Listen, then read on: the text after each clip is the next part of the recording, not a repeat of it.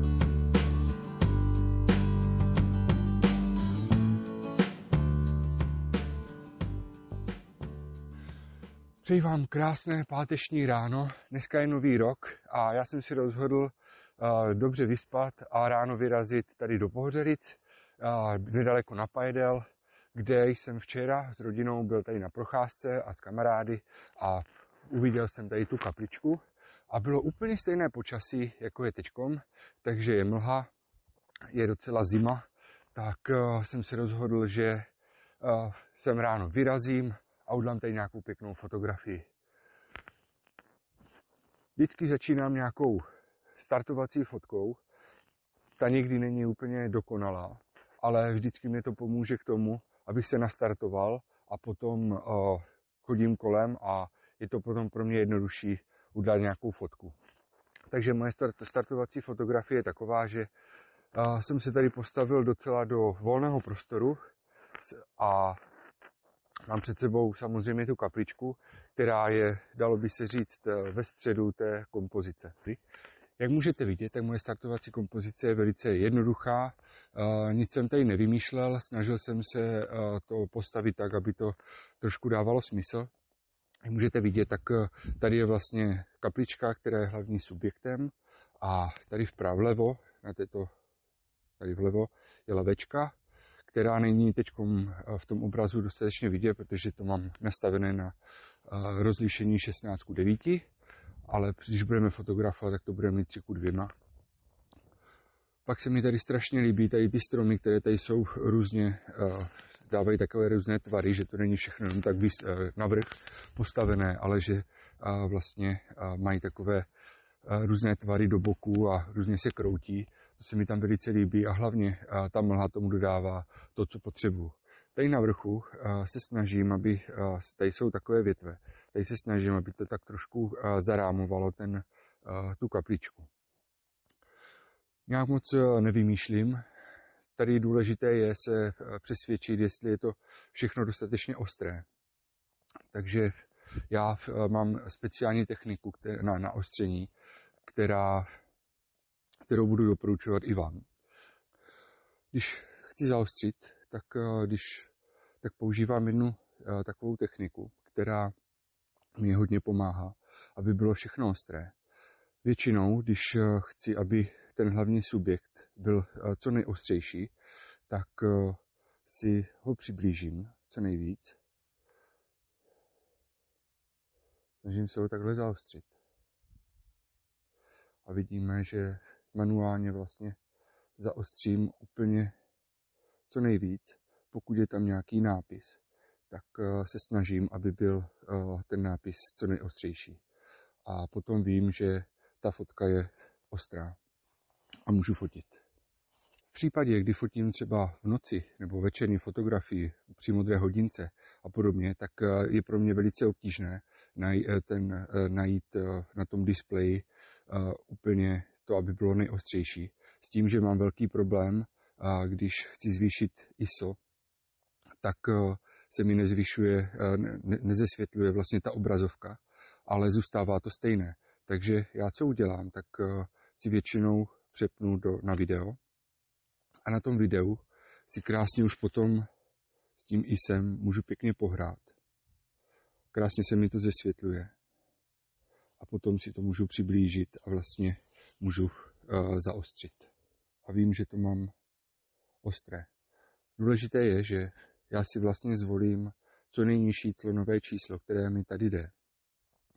A když zazumuju a mám to, tak eh, se snažím zaostřit ten hlavní subjekt, který tam, který tam na té fotce je. A potom, když eh, už potom vím, že to mám ostré, tak znovu přepnu na režim focení, zvýším si clonu na F11 a vím, že to všechno bude ostré. U této fotografie jsem se mohl přesvědčit o tom, že zadní displej fotoaparátu absolutně zkresluje. Když jsem se na tuhle fotku podíval v počítači doma, tak eh, jsem byl zděšený, jak eh, to bylo nevyvážené. Sice ty stromy na, eh, na bocích jsou pěkné, tak jak jsem říkal, že se mi líbí, jak jsou rozvětvené, ale ta kaplička tam prostě nesedí, tak jsem se rozhodl, že to oříznu a odstraním ty stromy vpravo a udělám takovou diagonální fotku. Takže jsem to oříznul na rozlišení 4 ku 5 a podle mého názoru ta fotografie funguje mnohem víc. Před chvílí jsem si přesvědčil, že i v tomhle světle je mnohem jednodušší ostření přes video mod, než přes fotografický mod, protože když jsem si to přiblížil u toho fotografického modu, tak v nás tam mám různé takové zrnění, což mě, nej, mě prostě nebylo to moc pěkné, přitom když jsem ostřil a vůbec mi to nepomáhalo.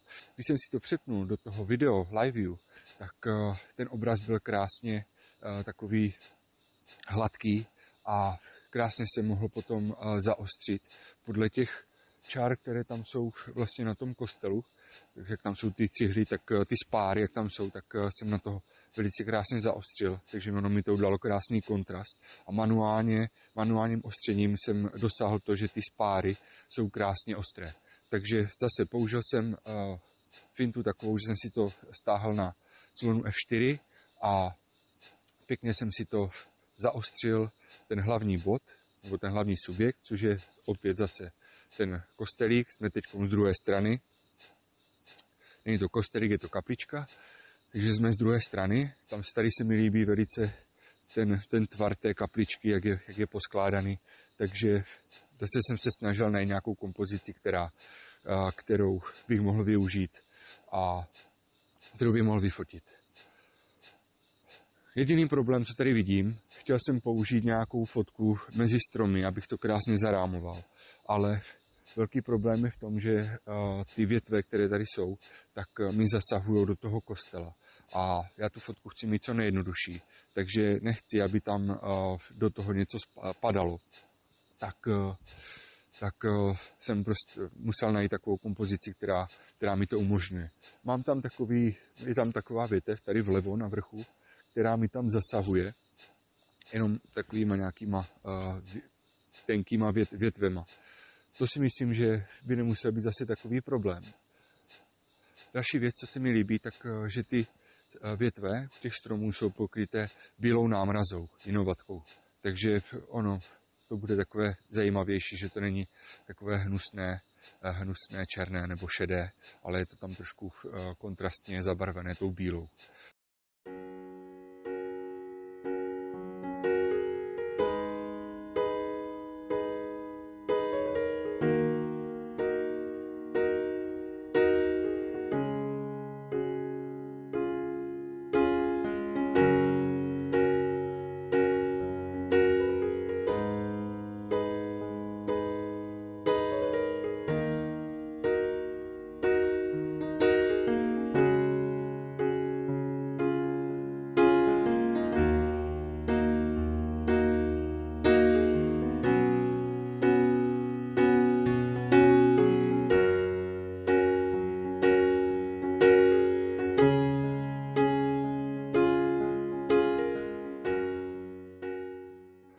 Tak a mám tady před sebou poslední kompozici dneška. Takže to se týče kompozice, tak eh, tady vidíte, že mám eh, tři stromy. Tohle je ten hlavní strom, který já, na který já se tady zaměřuji. Tímhle stromem i tímhle stromem to krásně eh, zarámuji. Tady vidíte, že mi to dělá takový krásný tvar V. A tady ten uprostřed strom se krásně rozvětvuje, takže ten má taky takový zajímavý tvar V. Jak jsem říkal, tady na boku máme další stromy, dva, které mi vlastně do toho, do té kompozice krásně zapadají a udělají mi to eh, krásně, eh, krásně mi to vyváží tu scénu. Musím dát korekci expozice do plus jedna, protože ta scéna, jak je, jak je postavená, tak je hodně světlá a fotoaparát má základní barvu šedou, takže on vlastně vidí tu scénu docela šedě, jelikož je hodně světlá ta scéna celkově, tak ji vidí docela šedě. Takže mi to posunul ten histogram do levé strany. Takže já tím, že dám tu korekci expozice do plus, do plus jedna, do plusových bodů, tak já ten histogram zase posunu zpátky do, to, do té prostřední do té prostřední části toho histogramu. Protože takhle bych to měl hodně tmavý a potom v postprocesu bych to musel vytahovat a mohlo by se stát, že mi tam více mi to přidá ten šum a bude to méně ostré. Takže proto to dávám korekci expozice, ten histogram spíše do toho středu a potom v postprocesu se budu snažit ten histogram trošku natáhnout. Nebudu to dělat úplně, proto abych nestratil tu mlhu, která je tady kolem, všude kolem. Takže pojďme udělat fotku horizontální, na horizontální poloze a na vertikální poloze.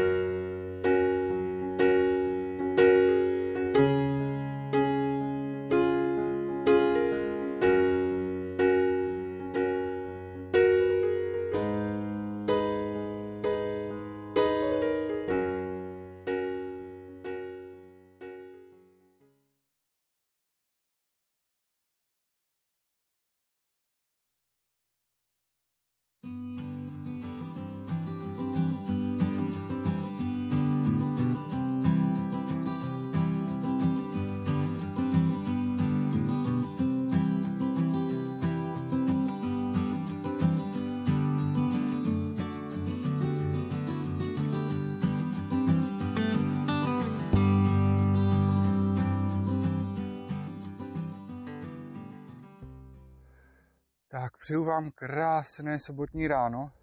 Je 2. ledna 2021. Já jsem se rozhodl, že se vydám tady poblíž eh, Zlína zase do okolí. Vyjel jsem na nějaký kopec, jsme teď na Makové. Je to kopec mezi Napajedly a Lenkovicema. Tady ještě vedle jsou Otrokovice, takže vidíte, že to není zas tak daleko od Zlína. Je to asi nějakých 15 kilometrů takže není to moc daleko, je to tady moc krásné. Já jsem, musím si přiznat, že už jsem dneska podváděl, protože jsem tady přijel trošku dřív a už jsem udělal tři fotky. Jedna fotografie jsem vyfotil uh, ve zlaté hodince, kdy ještě sluníčko nevyšlo, bylo za mraky nebo za horizontem a krásně mi to ozářilo oblohu a nejenom to, ale jak ta obloha byla taková červená, tak eh, tady jsou stopolné, eh, tam jsou takové malé rybníky, jezírka a ty byly, tam byla krásná reflexe té barvy z té oblohy. Takže opravdu nadšený z té fotografie, kterou jsem udělal. Doufám, že to bude i dobře vypadat, protože jsem si měl docela trápení s tím, abych to dobře zaostřil, protože to světlo není, nebylo zase tak, eh, zase tak silné a já s tím Nikonem prostě mám problémy s ostřením. A za druhé, uh, hodně fouká vítr, nebo foukal vítr, takže jsem si to musel nějak tělem se snažit uh, to zakrýt ten objektiv a ten, ten foťák, abych, to, abych, a, abych tam měl co nejméně toho větru, aby se mi to třáslo. Druhá fotografie, uh, tak ta byla zase města. Tam jsou takové dva krásné komíny, ze kterých prostě jde nějaký bílý kouř pod tím nějaká fabrika, ze které taky jde kouř a bylo takové zajímavá scéna, protože uh, jak ještě nevyšlo sluníčko, tak právě tam vlevo, tam byla modrá hodinka. Bylo to trošku osvícené světly pouličními. A zatím je vlastně, uh, zatím je vlastně uh, nějaký kopec uh, s, krásnýma, s krásnou oblohou, takže prostě tady z těchto dvou fotek jsem docela nadšený. Třetí fotografie je tady za mnou. K tomu si něco řekneme, to jsem udělal před chvilkou, protože před asi deseti minutama vyšlo slunko nad horizontem a mezi mraky a krásně mi to ozářilo právě oranžovou barvou tady ty stromy s tou lavečkou. Tak uh, jsem si, tak jsem si rozhodl, že, že to vyfotím, že to bude takové zajímavé. Perfektní na tom je, že nejenom, že tam jsou ty stromy s tou lavečkou, ale za, eh, které byly krásně osvícené sluncem, takovou oranžovou barvou. Ale zatím, jak vidíte, tak je úplně, úplně modrá obloha. Ona uh, by měla být šedá, protože je zamračeno, ale nějakým způsobem prostě je ta obloha taková namudrala a je taková tmavá, takže mi to udělá krásný kontrast. Co jsem udělal u všech těch tří fotek, tak eh, že jsem eh, se rozhodl eh, udělat bracketing, takže jsem tři expozice, minus jedna, nula a plus jedna. A potom to poskládám v postprocesu do sebe a nebo si vyberu jednu z těch tří fotek, která bude asi nejlepší. Aby to světelně podle histogramu nejlépe sedělo a potom už v tom postprocesu si s tím budu hrát.